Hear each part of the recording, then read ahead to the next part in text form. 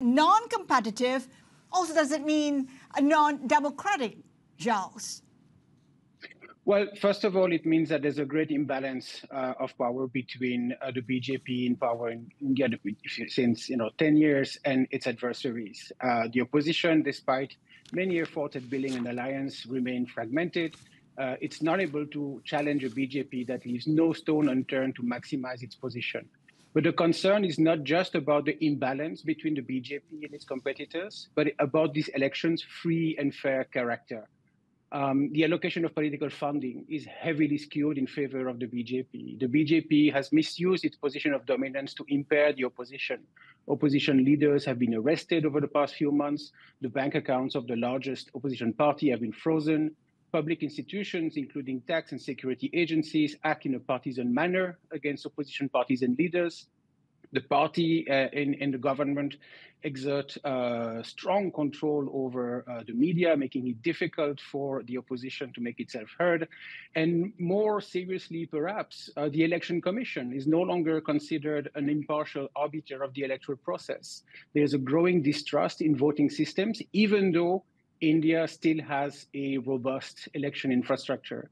In other terms, the democratic decline that we have seen in India uh, exacerbating over the past 10 years now affect its electoral process too.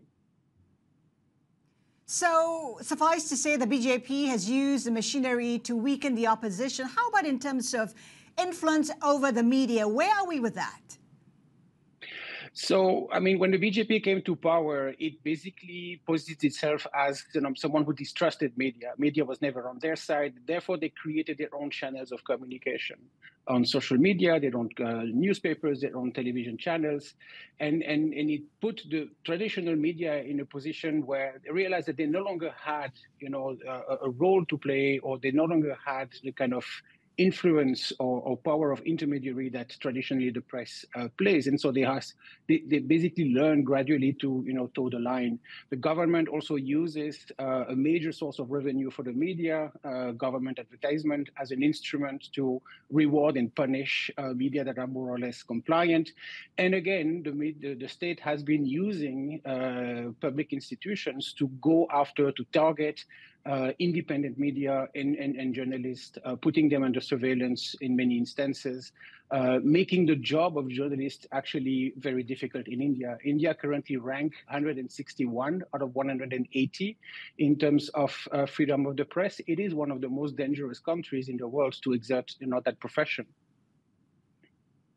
Uh, Gilles, we know that the BJP released its manifesto yesterday. What can you glean from it? I mean, in terms of policies that can be expected?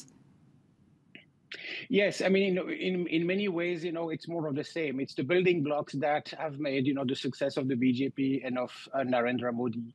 A strong emphasis on major uh, public infrastructure, a strong emphasis on uh, public redistribution and, and, and welfare schemes, and, and, and the maintenance of, you know, the the, the, the existing, you know, subsidy uh, system what stands out compared to previous manifestos is how everything is organized around the persona of the prime minister. Indian politics, uh, national politics has become more and more centralized and more and more personalized uh, over the past decades. And, and um, the uh, the manifesto reflects that uh, the, the, the BJP is not even talking about the government's promises or, or the party's promises, but there are Modi's promises, right? The, the, everything the state does is mm. presented as a derivative of you know the, the, the generosity of the leader, and uh, and so it's heavily personalized. But in terms of building blocks and major items, yes, it's there, there's a, there's a lot of continuity. That's right. In terms of the impact in particular, the manifesto highlighted its focus on the likes of women, the young, the poor. Uh, what does it mean in terms of unemployment? I mean, what will be addressed and how, how much how much do you put weight on its focus? So the focus is there, but it's not it's not exactly sure that you know the policy solutions are there to address some of the, you know the key issues with the economy, and it's actually significant or significant uh, that uh, the government speaks about you know inclusion, financial inclusion, or uh, uh and, and and and through uh, through the distribution of welfare or policy that targets women or the youth uh, but they're not exactly addressing the core issues, which is you know 10 years of you know re- relatively jobless growth, where uh, 10 years of uh, concentration of capital uh, in India. India's economy has been rising; it's one of the fastest uh, growing economies in the world. But the fruits, the benefit of that growth, are immensely uh, concentrated. Right. and these are issues that are not addressed in the manifesto. Uh, Gilles, we talk about how Modi is popular. Is he popular across the country? Can he win the support in the South, which has traditionally voted opposition?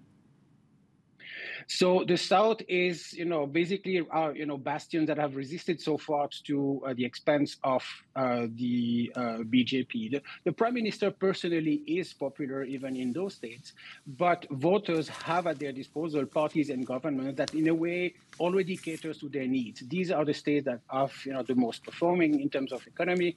Uh, they are also uh, the best state, the most effective states, states in terms of welfare provision, and so, and, and these are states that that historically are, are somewhat, you know, reluctant or, or wary about, uh, you know, the tropes of, you know, nationalism, which they see as, you know, some some some version of, you know, a northern Hindi-speaking uh, vision of of India's nationalism, and so they sort of stay away uh, from that. These are regions also that have very strong regional identities grounded in language, in history, in culture and and and and and they have actually these right. models to sort of cling on uh, and, and, and so far resisted. But there's no doubt that uh, the popularity of uh, Narendra Modi personally uh, has greatly expanded.